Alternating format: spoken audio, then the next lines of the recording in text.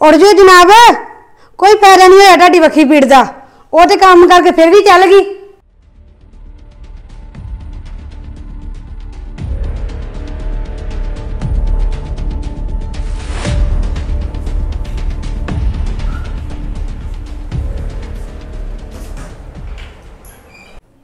ਤੂੰ ਤਾਂ ਨਹੀਂ ਮੇਰੇ ਕੋ ਬੜੀ ਵੱਡੀ ਸਕੀਮ ਹੈ ਪਰ ਵੇਖ ਲੈ, ਸਾਰਾ ਕੰਮ ਕਰਕੇ ਵੀ ਚਲ ਗਈ ਆ।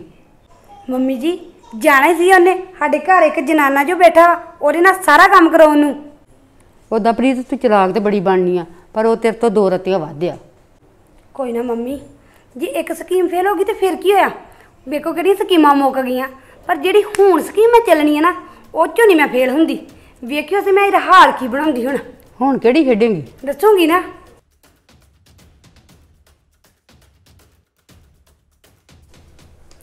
ਸਕੀਮਾਂ ਤੇ ਬੜੀਆਂ ਲਾਉਣੀਆਂ ਪਰ ਮੈਨੂੰ ਨਹੀਂ ਲੱਗਦਾ ਤੇ ਕੋਈ ਸਕੀਮ ਕਾਮਯਾਬ ਹੋਊਗੀ।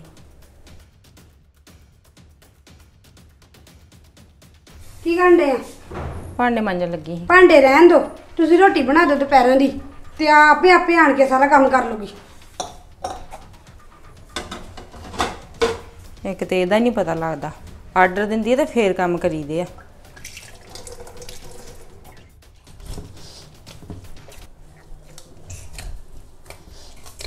ਉਹ ਆਉਣ ਵਾਲੀ ਆ ਤੁਹਾਡੇ ਅੱਖੀ ਪੀੜ ਹੋਣੀ ਹੈ ਨਾ ਜਾਓ ਜਾ ਕੇ ਲੰਮੇ ਪਾਓ।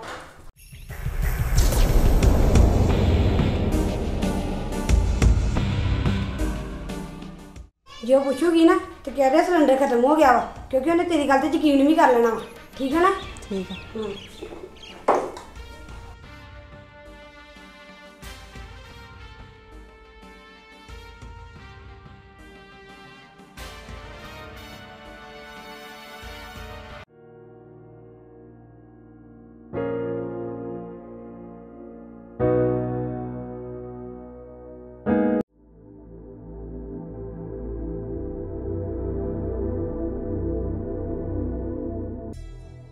ਹਾਂਜੀ ਆ ਗਏ ਜਨਾਬ? ਹਾਂਜੀ ਹੁਣੇ ਹੀ ਆਈ ਕਿੱਥੇ ਗਏ ਸੀ ਤੁਸੀਂ? ਮੈਂ ਬਸ ਘੁੰਮਣ ਗਏ ਆ ਅਸੀਂ। ਮਾਨੇ ਆ ਮੇਰਾ ਬੱਚਾ। ਆਜਾ ਹੋਰ ਫੇ ਕਿੱਦਾਂ ਦਾ ਰਿਹਾ ਅੱਜ ਦਾ ਦਿਨ? ਅੱਜ ਤਾਂ ਠੀਕ ਹੀ ਰਿਹਾ। ਹੂੰ। ਪਰ ਯਾਰ ਮੇਰਾ ਭਰਾ ਤੇਰੇ ਨਾਲ ਨਹੀਂ ਸੰਦੀਪ। ਸਾਰਿਆਂ ਨਾਲ ਇਦਾਂ ਕਰਨ ਡਏ ਆ ਬਲਜੀਤ ਭਾਬੀ ਨੇ ਅੱਜ ਵੱਖੀ ਪੀੜ ਹੋਣ ਦੇ ਬਾਵਜੂਦ ਵੀ ਸਾਰਾ ਕੰਮ ਕੀਤਾ। ਹਟੀ ਨਹੀਂ ਪੀੜ ਉਹਨਾਂ ਦੀ ਹਲੇ ਵੀ? ਤੇ ਦਵਾਈ ਬੁੱਟੀ? ਦਵਾਈ ਲੈ ਕੇ ਤੇ ਆਏ ਸੀ। ਹੂੰ। ਹੂੰ। ਪਏ ਲੰਮੇ ਆਪਣੇ ਕਮਰੇ ਦੇ ਵਿੱਚ। ਅੱਛਾ। ਹੂੰ। ਜਾ ਲੈ ਆਇਆ ਪਤਾ। ਆਪਣਾ ਆ ਫੜੋ ਮੇਰੇ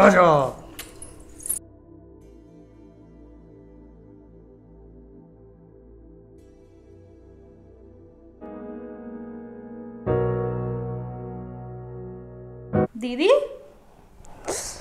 ਹਾਏ। ਕੀ ਗੱਲ ਆ? ਪਿਆ ਨਹੀਂ ਫ਼ਰਕ? ਹਜੇ ਕਿੱਥੇ ਪਿਆ ਵਾ ਸੰਦੀਪ? ਦਵਾਈ ਨਹੀਂ ਲੈਂਦੀ ਦਵਾਈ ਲਿਆਂਦੀ ਤੇ ਹੈਗੀ ਪਰ ਉਹੋ ਜਿਹਾ ਰਮਾਨ ਨਹੀਂ ਆਇਆ। ਤੈਨੂੰ ਪਤਾ ਤੇ ਹੈਗਾ ਮਾਵਾਂ ਧੀਆਂ ਦਾ। ਆਂਦੀਆਂ ਮੈਂ ਪਖੰਡ ਕਰਦੀ ਆ। ਸਾਰੀ ਦੁਪਹਿਰਾਂ ਦੀ ਰੋਟੀ ਪਕਵਾਈ ਆ ਅਗਲੀਆਂ ਨੇ। ਹੁਣ ਰਾਤ ਦਾ ਆਟਾ ਗੁੰਨਣ ਡਈ ਸੀ ਤੇ ਮੇਰੇ ਕੋ ਗੁੰਨਿਆ ਨਹੀਂ ਗਿਆ ਇੰਨੀ ਪੀੜ ਹੋਣ ਡਈ ਆ। ਇਹ ਤੇ ਕਿਸੇ ਦੇ ਦੁੱਖ ਨੂੰ ਵੀ ਨਹੀਂ ਜਾਣਦੀਆਂ। ਬਾਬਾ ਇਹ ਨਹੀਂ ਕਿਸੇ ਨੂੰ ਬਖਸ਼ਦੀਆਂ।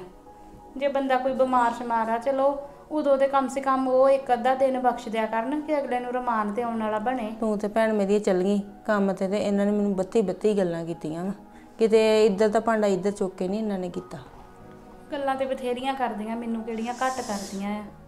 ਹੁਣ ਤੇਰਾ ਵੀ ਤੈਨੂੰ ਵੀ ਪਤਾ ਹੀ ਆ ਹੁਣ ਤੇਰੀ ਕੁੜੀ ਦਾ ਵੀ ਮਗਰੋਂ ਜੋ ਹਿਸਾਬ ਕਿਤਾਬ ਹੈਗਾ ਵਾ। ਮੈਂ ਕੰਮ ਕਰਦੀ ਰਹਿੰਦੀ ਤੇ ਮਾਂ ਕੁੜੀ ਨੂੰ ਹੱਥ ਨਹੀਂ ਲਾਉਂਦੀਆਂ ਮਗਰੋਂ। ਚਲੋ ਕੋਈ ਨਹੀਂ ਤੁਸੀਂ ਕਰ ਲਓ ਰੈਸਟ ਮੈਂ ਕਰ ਲੈਣੀ ਆ ਕੰਮ ਸਾਰਾ। ਕੋਈ ਨਹੀਂ ਹੁਣ ਮੈਂ ਆ ਗਈ ਆ ਨਾ। ਮੈਂ ਤਾਂ ਤੁਸੀਂ- ਤੁਸੀਂ ਉੱਠਿਓ ਨਾ ਬਿਲਕੁਲ ਵੀ ਰੈਸਟ ਕਰੋ। ਥੋੜਾ ਜਿਹਾ ਆਟਾ ਗੁੰਨਣ ਵਾਲਾ ਬਾਕੀ ਮੈਂ ਗੁੰਨਿਆ। ਕੋਈ ਨਹੀਂ ਆ ਮੈਂ ਕਰ ਲੈਣੀ ਆ ਸਾਰਾ ਕੰਮ। ਮੈਂ ਕਿਹਾ ਚੱਲ ਪੁੱਛਦੀ ਆ ਵੀ ਆਇਆ ਫ਼ਰਕ ਪਿਆ ਕਿ ਨਹੀਂ।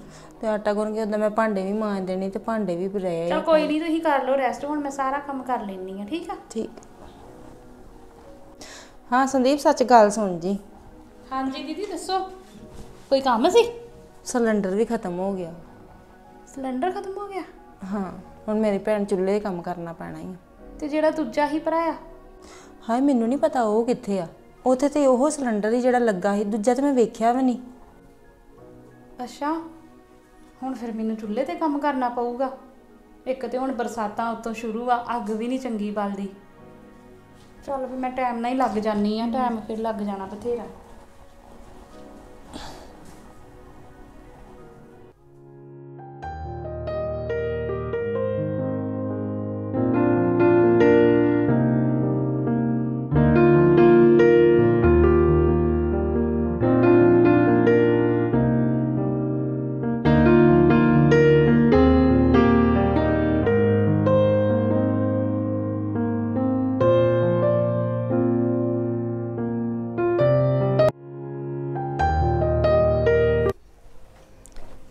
ਪ੍ਰੀਤ? ਉਰੇ ਆ। ਹਾਂਜੀ ਮੰਮੀ ਜੀ ਬੁਲਾਇਆ ਸੀ ਤੁਸੀਂ ਮੈਨੂੰ? ਆਹ ਮੈਂ ਬੁਲਾਇਆ ਸੀ। ਮੈਂ ਆਖਿਆ ਵੀ ਸਿਲੰਡਰ ਤੇ ਭਰਾਏ ਨੂੰ ਥੋੜਾ ਚਿਰ ਹੀ ਹੋਇਆ ਵਾ। ਤੇ ਸੰਦੀਪ ਡਈ ਸੀਗੀ ਰੋਟੀ ਪਾਣੀ ਉੱਥੇ ਚੁੱਲ੍ਹੇ ਬਣਾਉਣ। ਮੰਮੀ ਜੀ ਮੈਂ ਤੁਹਾਨੂੰ ਕਿਹਾ ਸੀ ਨਾ ਐਰ ਕਿ ਮੈਂ ਇਹੋ ਜੀ ਸਕੀਮ ਖੇਡੂੰਗੀ ਜਿਹਦਾ ਕੋਈ ਤੋੜ ਨਾ ਹੋਊਗਾ। ਖੇਡ ਲਈ ਨਾ ਹੁਣ ਲੱਗੂਗਾ ਪਤਾ ਇਹਨੂੰ।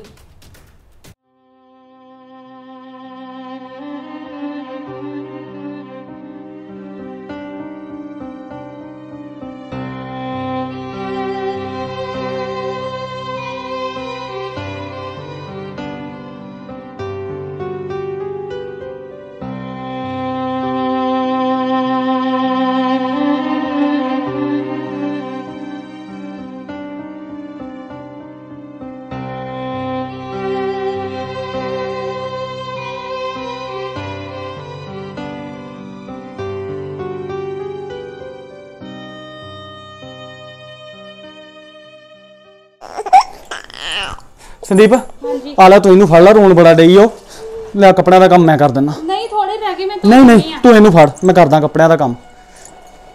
ਤੁਸੀਂ ਹੁਣ ਕਿੱਥੇ ਧੋਓਗੇ ਕੱਪੜੇ? ਕੋਈ ਗੱਲ ਨਹੀਂ ਕੁਛ ਨਹੀਂ ਹੋ ਗਿਆ ਮੈਂ ਧੋਣੇ ਮਸ਼ੀਨ। ਇਹਨੂੰ ਹੋਰ ਫੜ ਲੈਂਦੇ। ਮਸ਼ੀਨ ਨੇ ਧੋਣੇ ਆ ਬਸ ਤੂੰ ਇਹਨੂੰ ਸਾਂਭ ਜਾ ਕੇ ਇਹਨੂੰ ਨਰਵਾਈ ਜਾ। ਜਾ ਤੂੰ।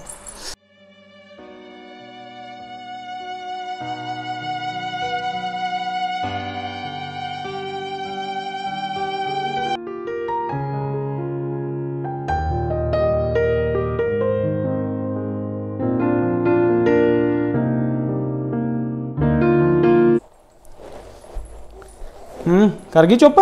ਹਾਂਜੀ ਕਰ ਗਈ। ਧੁੱਪ ਗਏ ਆ ਕੱਪੜੇ? ਧੁੱਪ ਗਏ ਆ ਯਾਰ। ਚਲੋ ਠੀਕ ਆ ਫਿਰ ਹੁਣ ਇਹਨੂੰ ਫੜ ਲਓ। ਚੁੱਪ ਹੋ ਕੇ ਡੰਡੀ ਆ ਤੇ ਮੈਂ ਬਾਕੀ ਦੇ ਕੰਮ ਜਿਹੜੇ ਰਹਿੰਦੇ ਉਹ ਕਰ ਲਾਂ। ਸੰਦੀਪ ਵੈਸੇ ਨਾ ਯਾਰ ਕੁੜੀ ਦੇ ਨਾਲ ਬੜੀ ਬੇਇਨਸਾਫੀ ਹੋਣ ਲਈ ਆ। ਸਾਰਾ ਦਿਨ ਤਾਂ ਤੇਰੇ ਤੋਂ ਦੂਰ ਰਹਿੰਦੀ ਆ ਤੇ ਜੇ ਰਾਤ ਨੂੰ ਘੜੀ ਵੇਲਾ ਲੱਗਦਾ ਵਾ ਤੇਰੇ ਨਾਲ ਉਹਨੂੰ ਖੇਡਣ ਦਾ ਤੇ ਤੇਰੇ ਕੰਮ ਨਹੀਂ ਮੁੱਕਦੇ। ਹੁਣ ਹਾਲਾਤ ਹੀ ਇਦਾਂ ਦੇ ਹੋ ਗਏ ਆ। ਕਰੀਏ ਕੀ? ਵਸ ਤੇ ਕਿਸੇ ਦੇ ਵੀ ਨਹੀਂ ਆ। ਕੋਈ ਨਹੀਂ ਕਮ ਸੇ ਕਮ ਤੁਹਾਡੇ ਕੋਲ ਤੇ ਹੈਗੀ ਆ ਨਾ। ਹਾਂ ਮੇਰੇ ਕੋਲ ਤੇ ਰਹਿੰਦੀ ਆ ਸਾਰਾ ਦਿਨ। ਬਸ ਕੋਈ ਗੱਲ ਨਹੀਂ ਆ। ਇਦਾਂ ਚਲ ਦਾ ਆ ਜਾ। ਸੋਚਿਆ ਕਰੋ। ਆ ਜਾ ਮੇਰਾ ਬੁੱਗਾ ਮੇਰੇ ਕੋਲ। ਆ ਜੇ। ਆ ਜਾਓ ਆ ਜਾਓ ਆ ਜਾਓ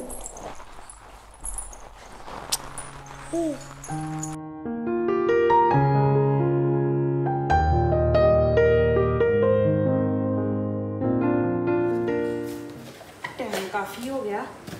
ਫਟਾਫਟ ਮੇਰ ਦਾ ਸੈਰਲਕ ਬਣਾ ਦਿੰਨੀ ਆਪੇ ਕਬਲ ਖਵਾ ਦੇਣਗੇ। ਨਾਲ ਹੀ ਚਾਹ ਬਣਾ ਕੇ ਰੱਖਣੀ ਪੈਣੀ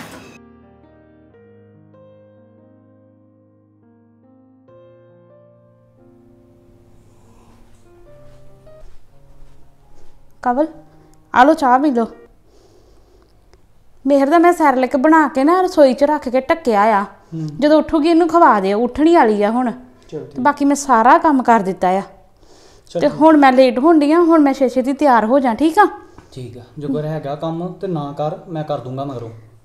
ਨਹੀਂ ਕੰਮ ਤਕਰੀਬਨ ਸਾਰਾ ਹੋ ਹੀ ਗਿਆ ਆ। ਬਸ ਇੱਕ ਭਾਂਡਾ ਹੀ ਹੁਣ ਉਹਦੇ ਮਗਰੋਂ ਮਾੜੇ ਮੋਟੇ ਮਾਂ ਜੀ ਲਊ ਬਲਜੀਤ ਦੀਦੀ ਉੱਠ ਕੇ।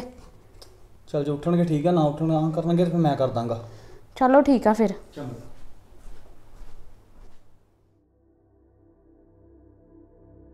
ਵੇਖ ਮਨੇਰੇ ਉੱਠ ਕੇ ਨੇਰੀ ਵਾਂਗੂ ਫਿਰੀ ਆ। ਸਾਰਾ ਲੰਗਰ ਪਾਣੀ ਪਕਾ ਕੇ ਰੱਖ ਗਈ ਆ। ਕੀ ਫਾਇਦਾ ਬਲਜੀਤ ਨੂੰ ਵੇਲੀ ਬਿਠਾਉਣ ਦਾ?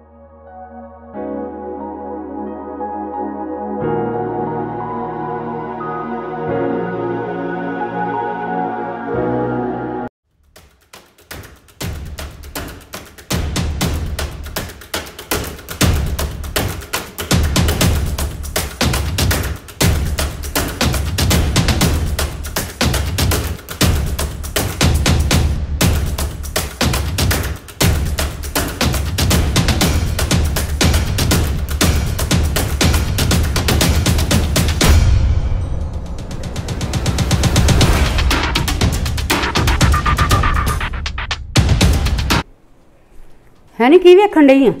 ਮੰਮੀ ਜੀ ਜਿਹੜੀ ਸਕੀਮ ਆਪਾਂ ਖੇਡੀ ਸੀ ਨਾ ਕਾਮਯਾਬ ਹੋ ਗਈ ਜੇ।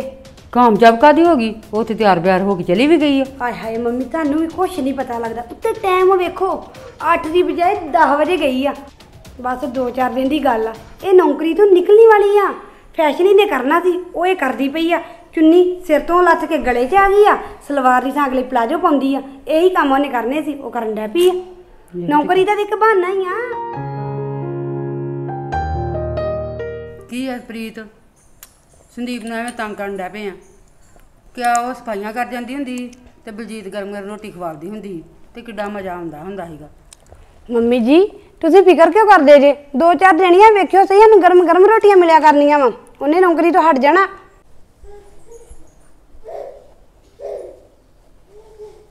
ਪ੍ਰੀਤ ਇੱਕ ਗੱਲ ਕਵਾਂ? ਹਾਂਜੀ ਦੱਸੋ। ਗੁੱਸਾ ਤਾਂ ਨਾ ਕਰੇਂਗੀ? ਨਹੀਂ ਕਰਦੀ। ਸੰਦੀਪ ਨਾ ਤੇਰੇ ਤੋਂ ਦੋ ਚਾਰ ਰਤੀਆਂ ਵੱਧ ਹੀ ਆ।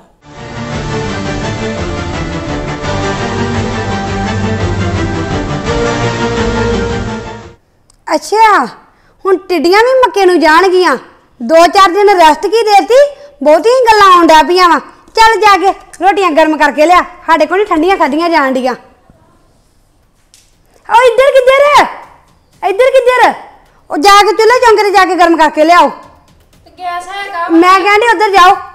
ਜਦੋਂ ਗੈਸ ਹੈਗਾ ਤਾਂ ਫਿਰ ਮੈਂ ਕਿਉਂ ਜਾਵਾਂ ਚੁੱਲ੍ਹੇ ਤੇ? ਕਲਵਾਵਾਂ।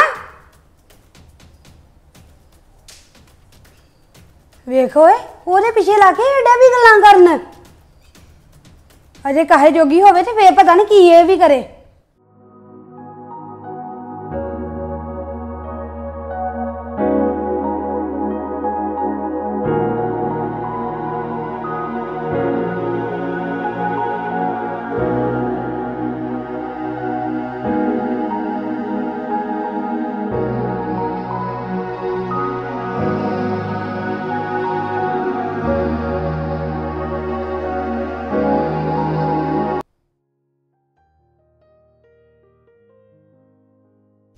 ਡੈਡੀ ਜੀ? ਠੀਕ ਹੈ ਤਾਂ ਕੀ ਕਹਿੰਦਾ ਤੇਰਾ ਮਿਸ਼ਰਾ? ਉਹ ਮਿਸ਼ਰ ਨੇ ਕੀ ਆਖਣਾ ਮੂੰਹ ਵੱਡਿਆ ਜੇ ਉਹਨੇ। ਆਂਦਾ ਰੁਪਿਆ 50000 ਦੇ ਉਹਦੇ 6 ਮਹੀਨੇ ਕਢਾ ਦੂੰਗਾ। ਕਿਹੜੇ ਦਿਨ ਪਹਿਲਾਂ ਦਿੱਤੇ ਸੀ? ਉਹ ਆਂਦਾ ਪਹਿਲਾ ਅਫਸਰ ਬਦਲ ਗਿਆ ਵਾ ਤੇ ਜਿਹੜਾ ਉਹਦੇ ਸਾਹ ਨਵਾਂ ਆਇਆ ਵਾ ਉਹ ਡਿਆ ਵਾ ਖਿੱਚ ਕਰ। ਇਹ ਕੱਲ ਨੂੰ ਕਹੇਗਾ ਇਹ ਵੀ ਬਦਲ ਗਿਆ। ਮੈਂ ਤੇ ਇਹੀ ਗੱਲ ਕਹੀ ਜਾਂਦਾ ਨਹੀਂ ਮੈਂ ਲਿਖ ਦਿੰਦਾ ਵਾ ਕਿ 6 ਮਹੀਨੇ ਤੁਹਾਡੇ ਕਢਾ ਦੂੰਗਾ। ਮੂੰਹ ਵੱਡੇ ਹਰ ਕਨੇ। ਮੂੰਹ ਵੱਡੇ ਆਗੇ ਕੰਮ ਤੇ ਕੋਈ ਅੱਗੇ ਨਹੀਂ ਚੱਲਣ ਦੇ ਤੇ ਇਹਨੂੰ 50000 ਕਿੱਥੋਂ ਦੇਣਾ? ਹੁਣ ਕੀ ਸੋਚਿਆ ਫਿਰ? ਸੋਚਿਆ ਤੇ ਆ ਵੀ ਜੇ 50000 ਨਾਲ ਦਾ ਮੂੰਹ ਬੰਦ ਤੇ 6 ਮਹੀਨੇ ਸਾਡੇ ਨਿਕਲ ਜਾਣਗੇ ਉਹਨੇ ਜਦੋਂ ਚੱਲ ਜਿਹੜਾ ਮਾਲ ਮੂਲ ਤਿਆਰ ਹੋਇਆ ਵੀ ਨਿਕਲ ਜੂਗਾ। ਤੇ ਪੈਸੇ ਹੋਣੇ ਹੀ ਆ। ਚਲੋ ਕਰੋ ਜੋ ਕੰਮ ਤਾਂ ਮੈਂ ਕਹਿ ਕੇ ਮੈਂ 2 ਦਿਨ ਦਾ ਟਾਈਮ ਤੁਹਾਨੂੰ ਦੱਸ ਦਿੰਦੀ ਹੂੰ ਹੂੰ। ਤੂੰ ਆਂਦਾ ਦੱਸ ਦੇ। ਚਲੋ ਵੇਖ ਲਓ ਫਿਰ ਟਾਈਮ ਤਾਂ ਕੱਢਣਾ ਹੀ ਪੈਣਾ ਕਿਸ ਤਰੀਕੇ ਚਲੋ ਕੰਮ ਹੋ ਗਿਆ ਸਾਰਾ ਹੁਣ ਆਰਾਮ ਕਰੀਏ ਘੜੀ।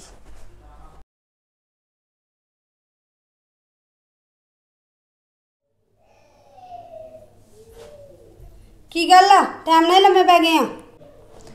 ਮੈਂ ਆਪਣੇ ਵੰਡੇ ਦਾ ਕੰਮ ਕਰ ਲਿਆ ਵਾ ਰਸੋਈ ਦਾ ਰਹਿ ਗਿਆ ਬਸ। ਕਿਉਂ ਰਸੋਈ ਦਾ ਕੰਮ ਕਿਉਂ ਨਹੀਂ ਕੀਤਾ? ਚੌਂਕੇ ਦਾ ਕੰਮ ਤੇ ਸੰਦੀਪ ਨੇ ਕਰਨਾ ਵਾ ਉਹਦੇ ਵੰਡੇ ਦਾ ਵਾ ਮੇਰੀ ਤੇ ਬੱਖੀ ਪੀੜ ਹੁੰਦੀ ਆ। ਅੱਛਾ ਮੈਂ ਤੇਰਾ ਹੁਣ ਅਲਟਰਾਸਾਊਂਡ ਨਾ ਕਰਵਾ ਲਿਆ ਵਾ ਉਹ ਜਾ ਕੇ ਕੋਠੇ 'ਚ ਕੱਪੜੇ ਲਾ ਕੇ ਲਿਆਓ ਸੜ ਗਏ ਸਾਰੇ ਧੁੱਪੇ। ਪੀੜ ਹੁੰਦੀ ਆ ਜਿਹੜੀ ਵੱਖੀ 'ਚ।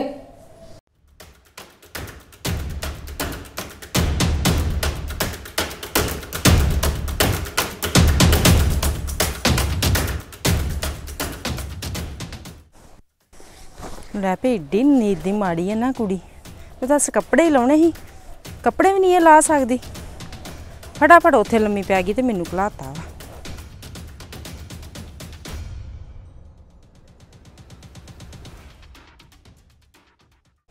ਅਜੇ ਤੇ ਸਿਰਫ ਪਲਾਜੋ ਪੈਂਦੇ ਆ ਨਾ। ਅਜੇ ਵੇਖਿਓ, ਜੀਨਾ ਵੀ ਪੈਣਗੀਆਂ।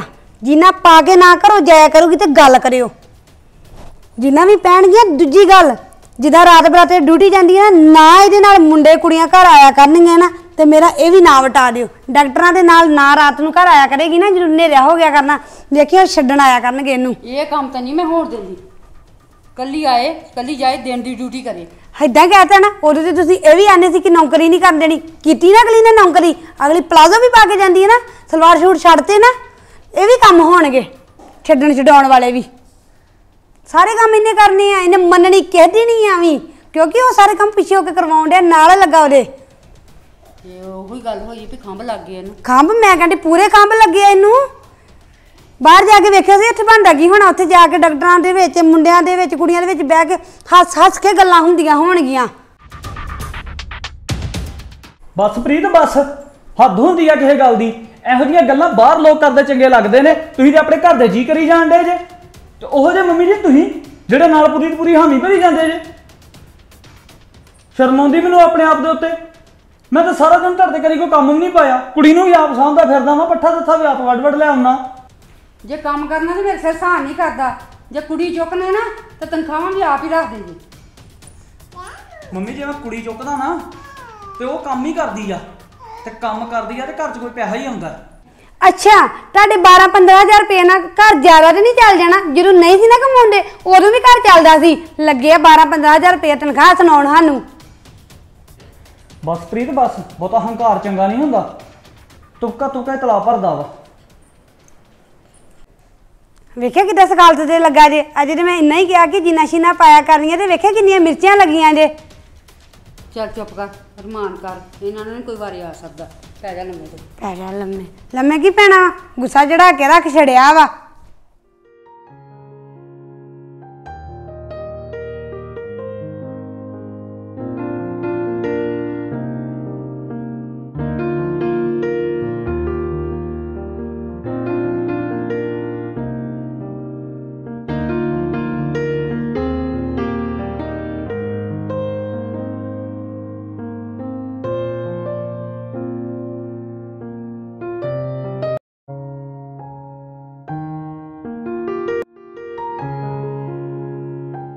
ਖੇਡਣ ਦੇ ਆ ਪਿਓਤੀ ਹਾਂ ਆ ਗਈ ਆ। ਹਾਂਜੀ। ਡੱਬਾ ਕਿਹੜੀ ਖੁਸ਼ੀ ਵਿੱਚ? ਦੱਸਦੀ ਆ ਬਹਿ ਤੇ ਲੈਣ ਦੋ। ਇਹ ਹੁਣੇ ਹੀ ਉੱਠੀ ਲੱਗਦੀ ਮਾਨੋ ਆਹੋ ਕਿਦਾਂ ਦੇ ਕਿਹੜੀ ਸੋਹਣੀ ਪੁੱਤੀ ਮੰਮਾ ਨੇ ਚੀਜ਼ੀ ਲਾਂਦੀ ਸੀ ਖਾਣੀ ਆ ਮਿਹਰ ਨੇ? ਕਿੰਨੀ ਕਾਲੀ ਤੁਹਾਨੂੰ ਮੇਰੇ ਨਾਲੋਂ ਵੀ। ਚੱਲ ਦੱਸ ਤੇ ਸਹੀ ਕਾਦੀ ਖੁਸ਼ੀ ਦੇ ਵਿੱਚ ਪਹਿਲਾਂ ਮੂੰਹ ਮਿੱਠਾ ਤੇ ਕਰੋ।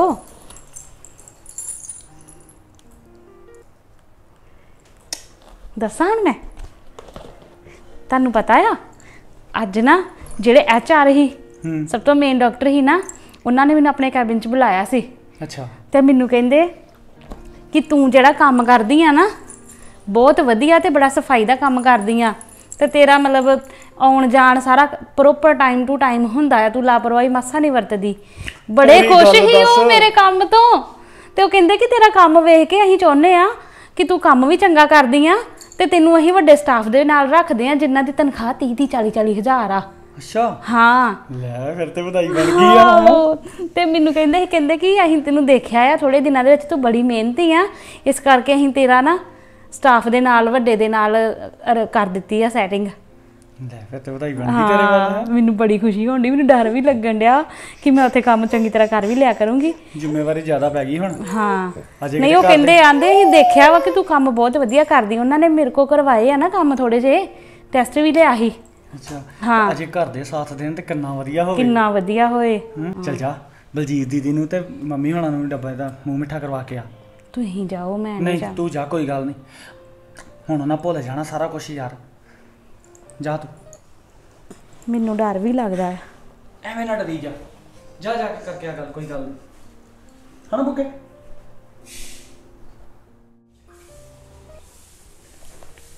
ਦੀਦੀ ਫੜੋ। ਮੂੰਹ ਮਿੱਠਾ ਕਰੋ ਪਹਿਲਾਂ।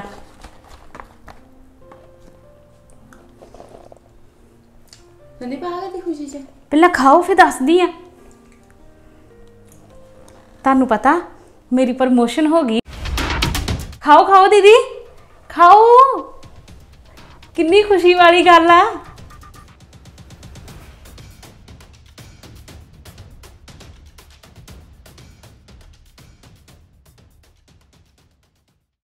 ਲੈ, ਇਹਦੀ ਤੇ ਤਨਖਾਹ ਵਧ ਗਈ ਓ।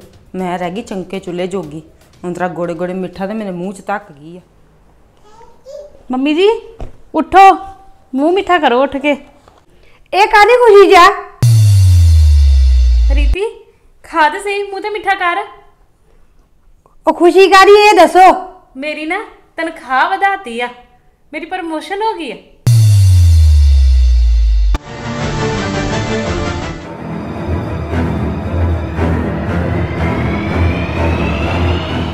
ਉਧਰ ਆਪਣੀ ਫੈਕਟਰੀ ਬੰਦ ਹੋਣ ਡਈ ਆ। ਇੱਧਰ 5-7000 ਤਨਖਾਹ ਕੀ ਵਧੀਆ ਡੱਬੇ ਵੰਡੇ ਜਾਂਦੇ ਆ। ਆ ਹੱਥ ਜੋੜੇ ਤੁਹਾਡੇ ਅੱਗੇ। ਜਾਓ। ਰੱਬ ਦਾ ਵਾਸਤਾ ਮੈਨੂੰ ਹੋਰ ਨਾ ਗੁੱਸਾ ਚੜਾ ਦਿਓ।